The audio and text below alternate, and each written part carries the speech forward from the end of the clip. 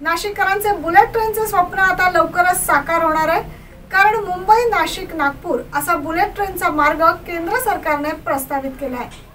या प्रकल्पाची चाचपणी करण्याचे काम देखील सुरू आहे. पाहूया संपूर्ण रिपोर्ट.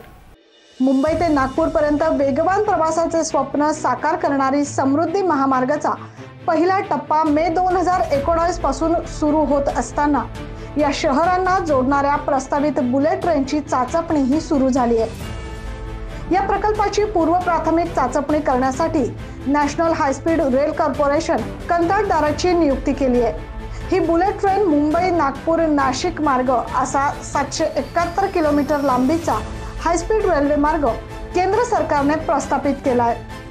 बहुतांश ठिकाणी ही ट्रेन समृद्धी महामार्गावर समांतर धावणार आहे. शहापूर इगतपुरी नाशिक शिर्डी औरंगाबाद जालना मेहकर मालेगाव जहांगिरी कारंजा ते पुलगाव वर्धा आणि नागपूर अशी बारा स्थानके उभारली जातील. या प्रकल्पाची विभागणी पाच टप्प्यांमध्ये करण्यात आली आहे.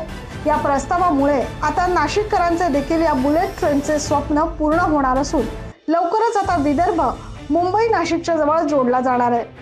एकतर समृद्धी महामार्गाने आठ तासात आणि त्यातल्या त्यात आता बुलेट ट्रेनची भर त्यामुळे मुंबई नागपूर हा मार्ग काही तासांच्या अंतरावर येऊन ठेपलाय. Nine news bureau Nashik.